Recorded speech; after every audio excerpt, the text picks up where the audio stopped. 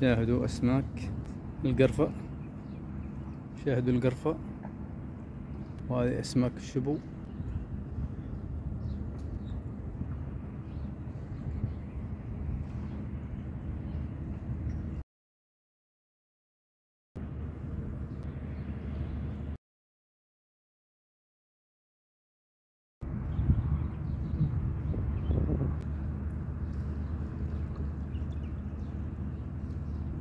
في اسماك كبار تفترس القرفة.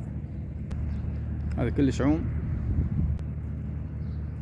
يعني القرفة ياخذ الحماية.